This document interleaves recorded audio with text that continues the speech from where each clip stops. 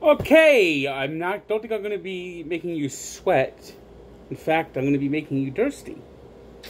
C&C Cola, not to be in, uh, confused with C&C Music Factory. But uh, this is a uh, back to basics since it's Father's Day, and we're going to do basics today. We're going to do a cola review of C&C Cola. I've drank and I've had C&C Cola for many, many, many years. I know what this tastes like. It's no, it's going to be no surprise. But I wanted to review it here for you, my viewers, who want to see me try every soda I can imagine. So this is C&C Cola, made in Cranford, New Jersey. It's New Jersey's own. This is a company that's been around for ages. 1865.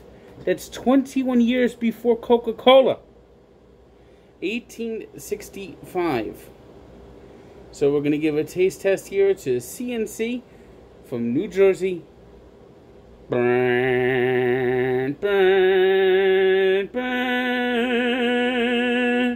burn, boom, boom, boom, boom, boom,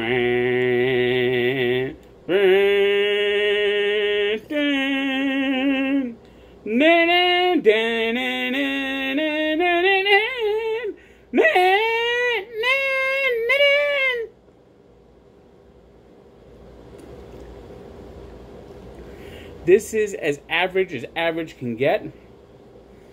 That's why I don't really drink C&C Cola very much. C&C Cola, you could actually get... Uh, I've known a lot of hot dog trucks to carry C&C products. And I usually don't get the C&C Cola. I usually get the orange. But for taste, it's got a very generic taste. I mean, this is this tastes like generic soda. I mean, it, it, it, I mean, this is a 5.7, and that's being generous. So C&C Cola 5.7. I mean, when you get C&C products, you're better off getting all the other type of sodas. And I'll be trying them all. I got a whole case of all the C&C different variations, so keep an eye on that as I do reviews of everything since that's all we seem to have time to do now is reviews. God only knows when I'll be able to vlog again. When I'm never gonna vlog again, sports is gone forevermore.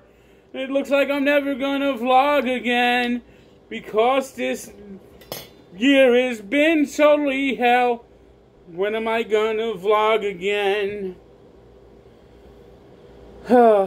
Just a careless whisper.